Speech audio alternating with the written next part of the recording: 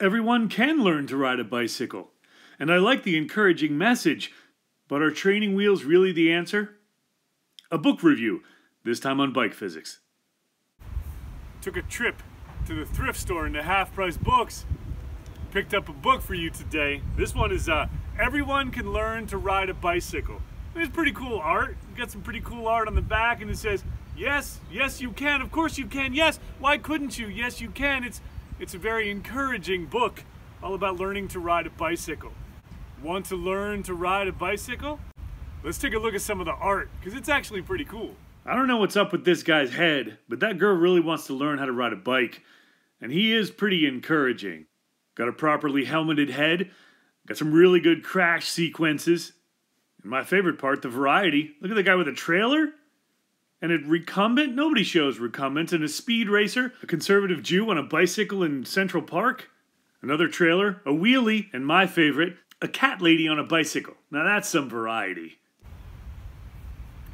Want to learn to ride a bicycle? First, you need to choose the perfect bike for you. Watch everyone ride. They all learned how. Come on, let's give it a try. Training wheels are helpful. Okay, okay, that's, that's, okay, we'll get back to that later, but training wheels have not been shown in my experience or my children's experience to be helpful. They keep you from tipping over. Yes, they do, but they also prevent you from actually learning to balance the bicycle, which is the most important part. Training wheels. Mm. If we raise them up a smidge, you'll begin to feel your balance.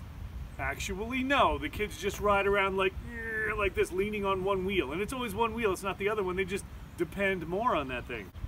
Now we take them off, that's a bit scary, but try it. Just don't put them on in the first place.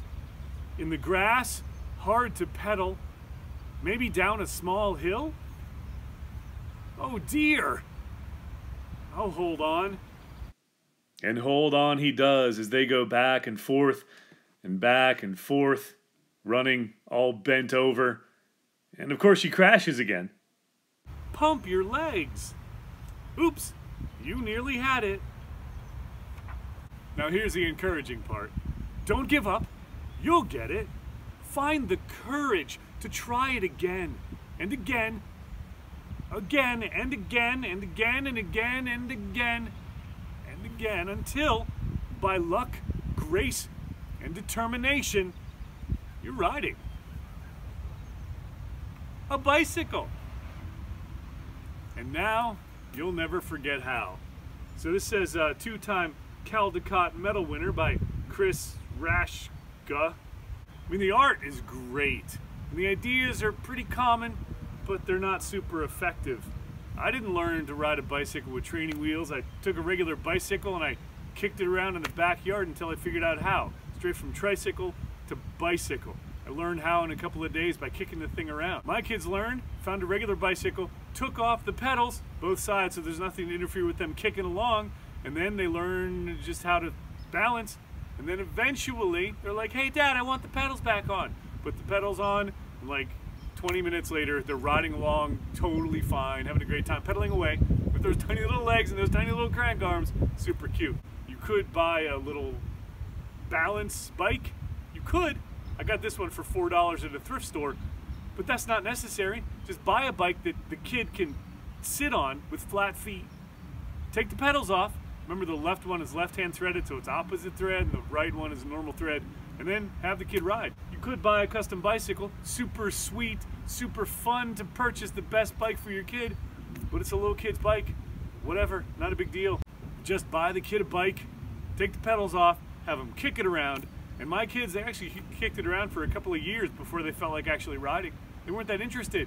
Honestly, everyone can learn to ride a bicycle and should learn to ride a bicycle. And the encouraging part of this book was really, really cute and really good.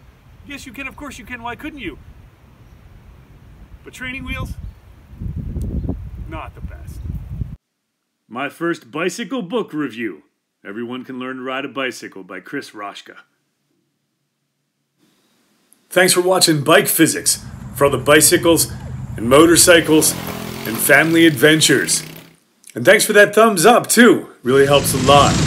New videos most Tuesdays. Subscribe for more. If you haven't figured it out yet, I got this other channel called Learn Physics. It's all about physics and education and that kind of thing. So check that out too.